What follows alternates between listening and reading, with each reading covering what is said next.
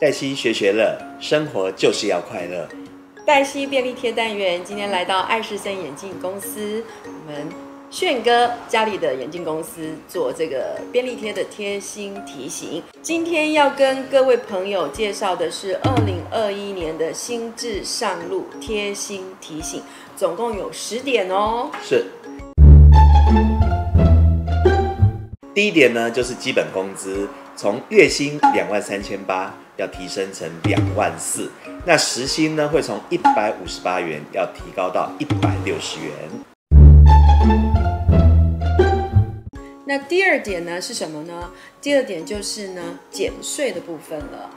每一年五月，我们报税的时候，有个基本生活费的扣抵额。这个扣抵额呢，可以从十七点五万元提升成十八点二万元，也就是这中间呢，我们提升了七千块钱的节税金额哦。第三点呢，是劳保普通事故保险费还有国民年金的保险费两项呢，平均都涨了零点五帕，也就是劳保与国民年金保险的费率呢都涨。狂涨，像股市一样一直涨。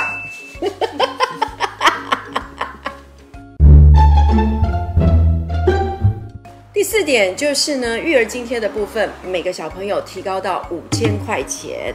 那各位朋友必须要向您户籍的所在地在地的县市政府来做申请。同时呢，幼儿园的部分呢也有减免喽，一胎减免一千，第三胎呢就不用缴钱喽。赶快！增产报国，生的越多，赚的越多。是。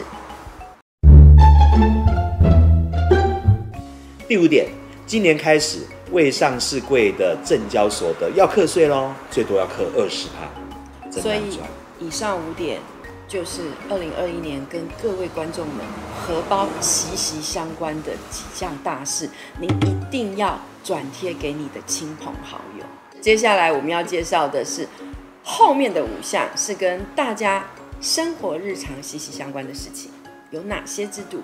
二零二一年不一样了呢？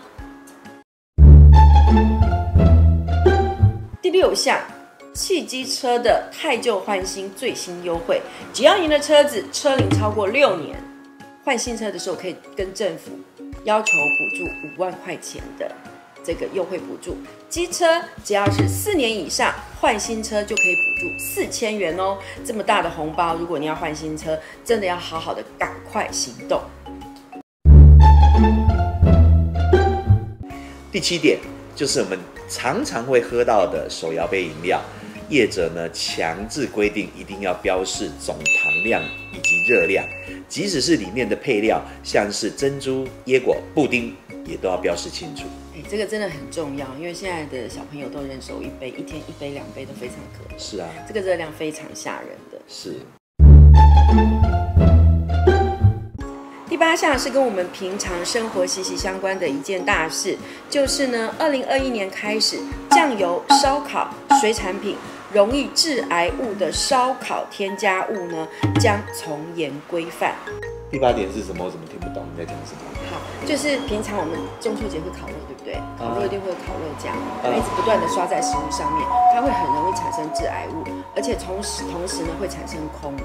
那致癌物的里面有很多化学的添加物，打个比方，化学相关的一个叫做三单氯丙二醇，你可能不知道，原来的规范是可能是零点四 ppm，可能政府现在规定就会下降到零点三 ppm，为我们人的身体。健康两关，戴西吗？戴西好专业哦，我吓到吃手手了。第九点呢，就是新闻上一直可以看到的，来自美国的莱猪，莱克多巴胺，莱克多巴胺。反正呢，新闻也讲得很清楚，一定呢要标示。